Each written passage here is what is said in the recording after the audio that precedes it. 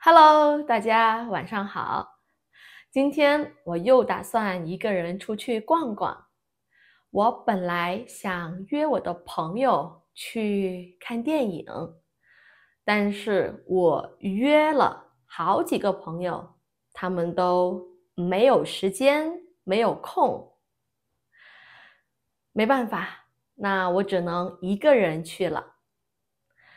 你们习惯一个人出去吗？你们享受一个人的时间吗？一个人的时候，你们一般会做些什么？你们会不会感觉到孤独？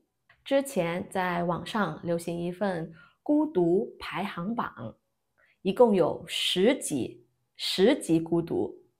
我给你们念一下。看一下你们能忍受几级的孤独？第一级孤独，一个人去逛超市，一个人去逛超市，你们行不行？我是完全没问题。一个人逛超市。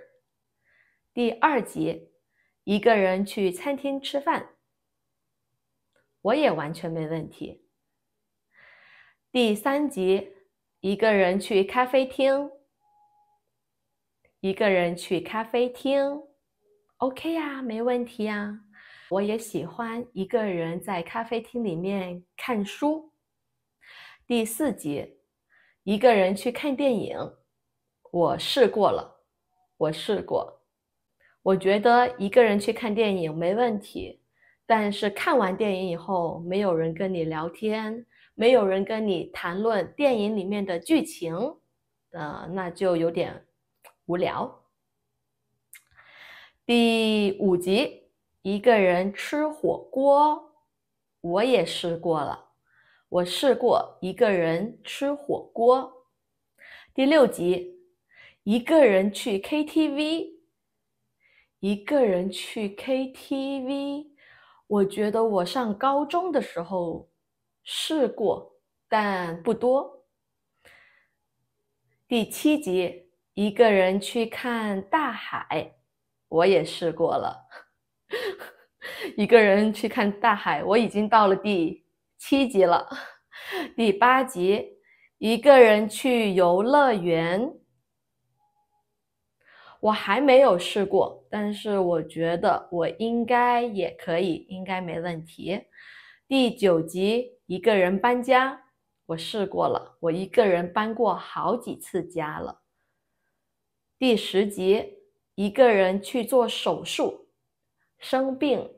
如果你生病比较严重了，你要去做手术，一个人去做手术。啊，目前来说我还没有做过手术，嗯，但是我试过一个人去医院看病做检查。那你们呢？你们能忍受到几级？你们能忍受到几级的孤独？行，那我们现在出去吧。大家有吃过这种水果吗？荔枝，荔枝，六月开始吃荔枝了。这是荔枝的季节，很清爽、很清甜的一种水果。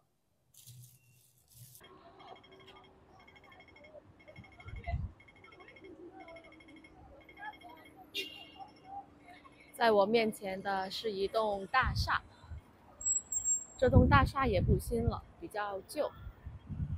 我今天要去一个游戏的店里，游戏运动店。近几年那种游戏运动店不是越来越火了吗？我今天就去体验一下。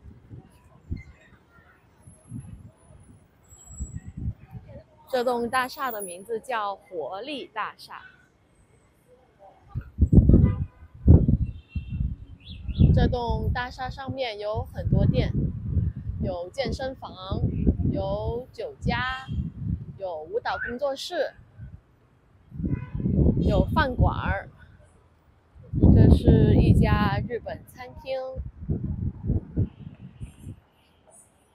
还有美容店。因为位置位于市中心，所以这里人气很旺。不用问，租金肯定也很高。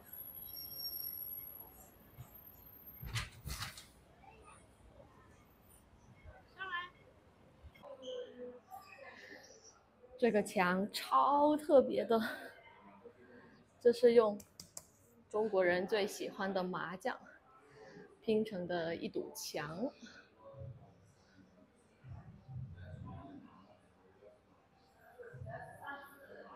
太酷了！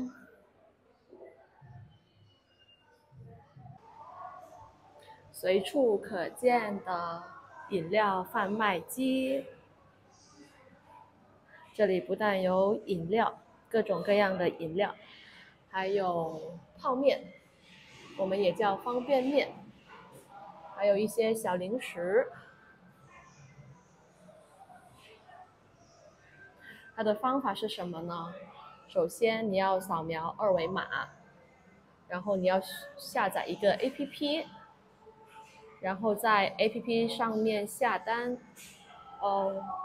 要下载 APP 的话，这有点麻烦。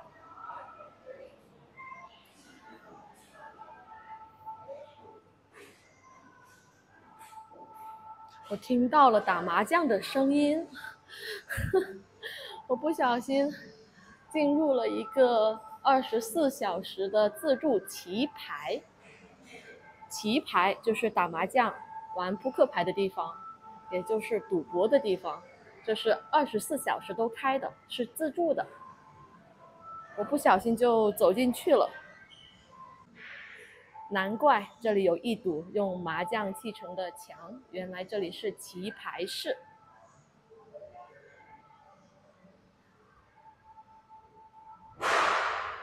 这里是一个酒家，就是比较大的饭店。这是他们今天推荐的菜式。水晶菊花糕，这边就是楼梯了。我要找的店在哪儿呢？怎么那么奇怪呢？找不到。Two thousand years later。因为空间有限的问题哈，然后我们左边的格子这边有的线比较多一点，然后这个线是连接格子的信号线，就尽量不要踩到。嗯。对，这个时候需要退一下，非常安全。然后因为我们空间不是很大。嘛，有的时候可能需要你往前冲的这种动作的话，呃，它可能会撞到墙，不安全。对，最主要是安全第一。然后讲一下游戏的规则，呃，最简单的绿色是安全区，然后呢避开红色，把所有蓝色的格子踩掉，就是完全没用的。好。然后红色呢一共有五次机会可以去踩，然后呃如果说五次机会全部用完的话呢，那么就这一关就重新开始。啊。对。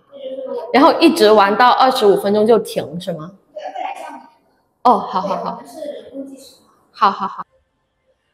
工作人员把我带到了一个小房间，墙上是一些日式风格的画，招财猫在中间，这边有一个小小的屏幕，那边也有一个招财猫。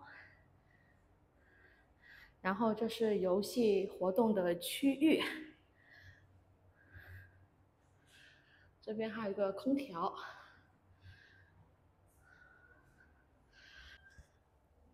绿色的是安全区，要把蓝色的踩掉，同时要避开红色的。啊！每一关有五次机会，如果你踩到哦，我刚刚踩到了一个红色，所以我现在还有四次机会。这个是比较简单的，耶！第一关，哦，这是第二关，那我要开始玩喽，开始认真的玩喽。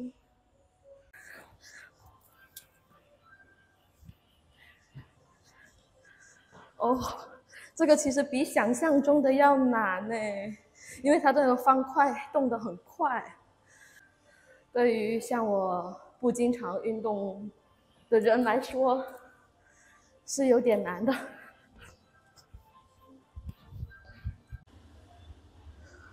我现在玩了大概五分钟，但是这个真的出好多汗，即便我现在开着空调，还是出了很多汗，在空调房里面还是出了很多汗。我现在玩了五分钟左右，差不多已经消耗了五十卡路里，才五分钟，哇，这个比一般的运动。要消耗的体能要多得多，特别是对于我这种不太灵活的人来说，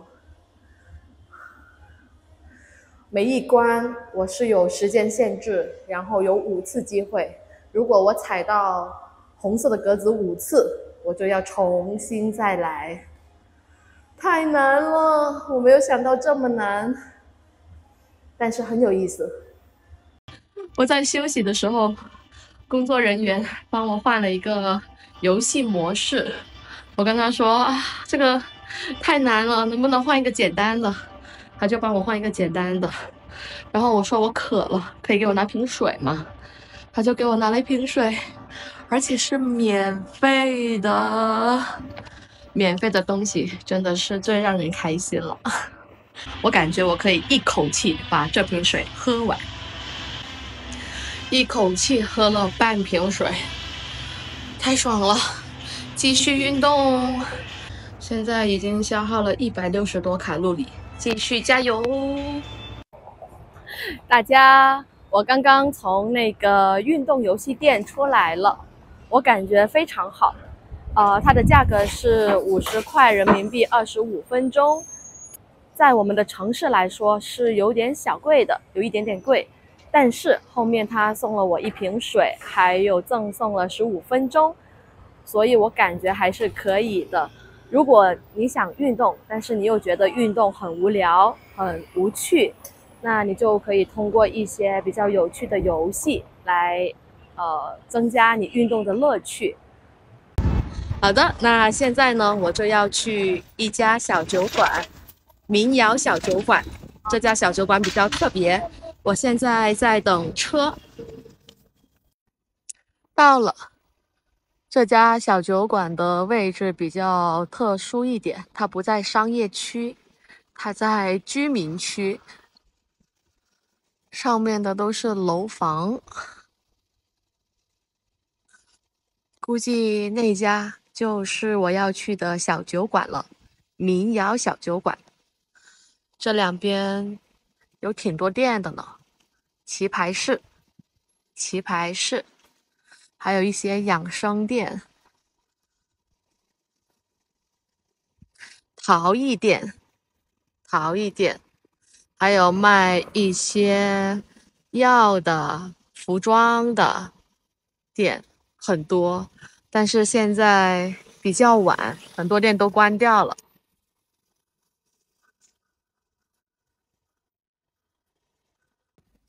门口就挺有特色的，挂着五颜六色的纸灯笼，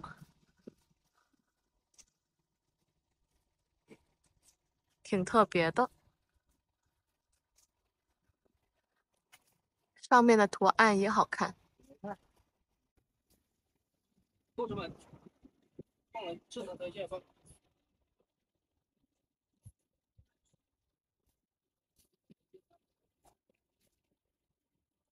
门前还种了几棵植物。这家民谣酒馆的名字叫南向民谣。南向民谣，好吧，那我们现在进去看一看吧。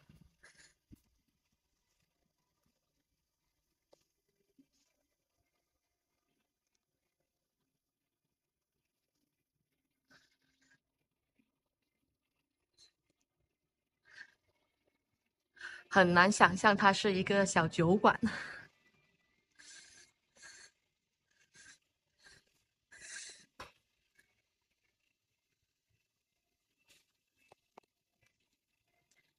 墙上的这幅画很有特色，完全不像中国的风格。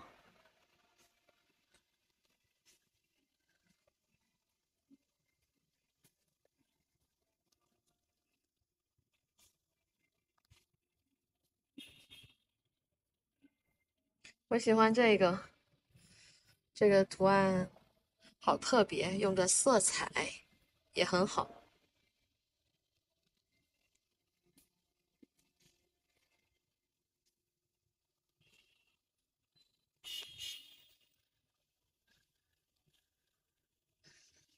我看到这个的时候，感觉有点恐怖。大家觉得恐怖吗？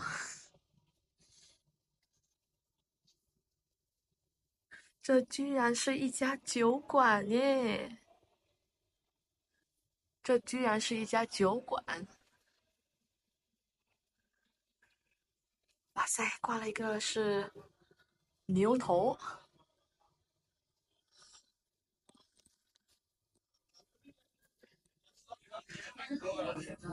哇，挺热闹的。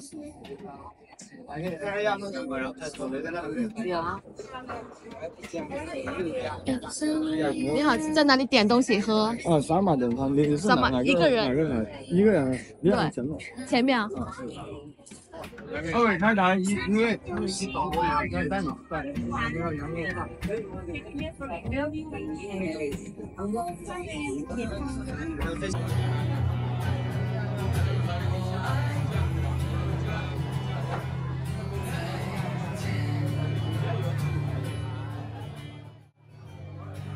这个酒吧的气氛挺好的，中间还有一个大屏幕，我们可以在上面看足球比赛。最近正是欧洲杯，所以很多人会选择到酒吧去看比赛，因为气氛会更好。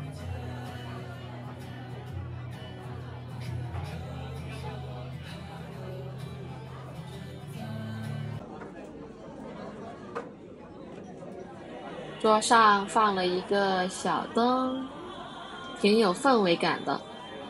还有烟灰盅，客人抽烟的时候可以用到。还有两个杯子，我点了一杯柠檬红茶，这么大一杯。我不太能喝酒，一喝酒脸就红，所以我还是喝杯茶吧。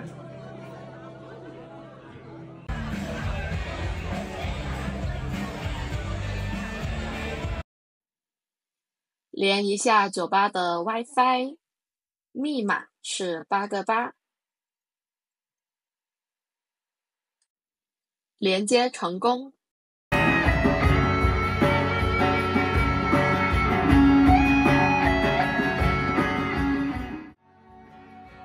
这个酒吧还有驻唱，每天晚上十一点都会在这里唱歌。那接下来，让我们去欣赏一下他们的歌声吧。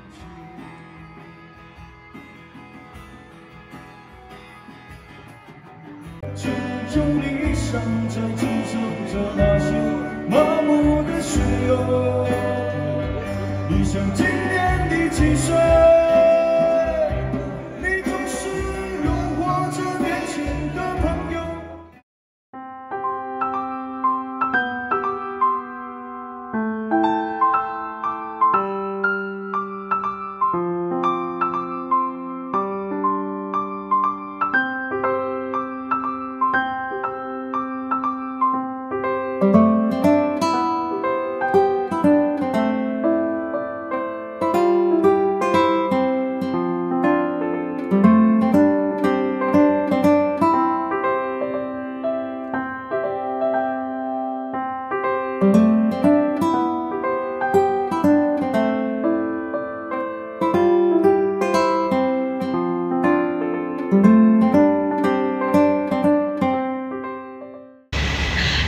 回家了，嗯，希望大家喜欢今天的 vlog，那我们下次见，拜拜。